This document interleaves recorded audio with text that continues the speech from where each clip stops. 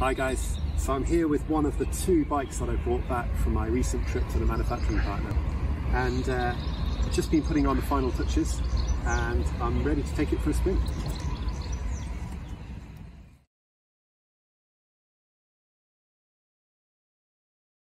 So for those of you who aren't familiar with Flit, this is the Flit 16. I thought I'd give you a bit of an overview and to start with, I'll show you the fold. So it's rotation of the handlebars like that. And then using the front clamp, drop the handlebars down. And then the forks next, so there's another clamp down here, fold in the front wheel. And then there's a lever on the back here that releases the rear wheel. And you're good to go.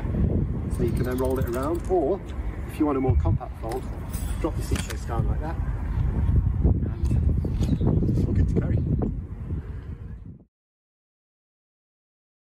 So for the electrical system, we've got a motor in the back wheel here. We've got a torque sensor here, which detects how hard you're pedaling.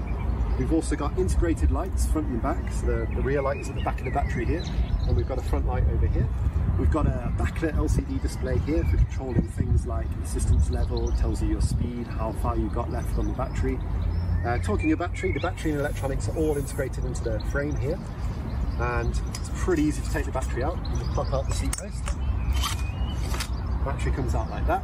So you can charge from the battery itself, or there's a hole on the other side of the frame for charging directly into the bike.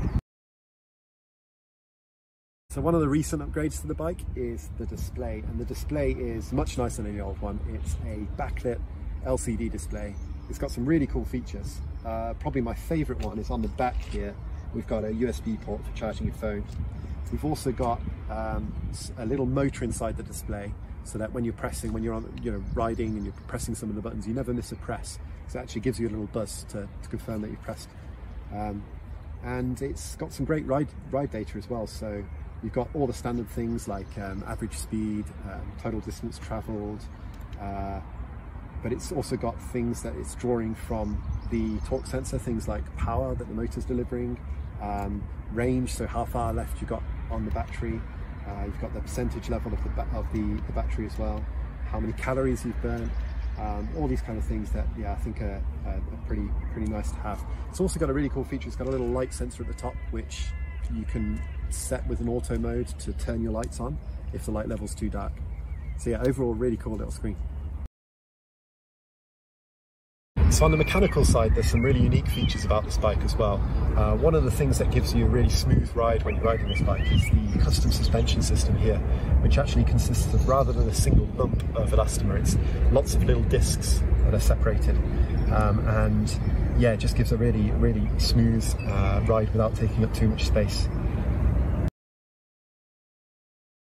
So we spent quite a bit of time thinking about how we could design these hinges because um, it's often a part on folding bikes that wears out pretty quickly and uh, we wanted a really long lasting reliable frame. So uh, these are a little bit different to what you usually find. They're actually multi-material hinges. So we have um, steel here, here and even on the threaded insert here as well in an aluminium body so that means that all the parts that are in contact or are subject to high forces are really resilient um, and uh, long lasting compared to the, to the rest of the material. So you still get a really lightweight hinge, but you get a long lasting one as well.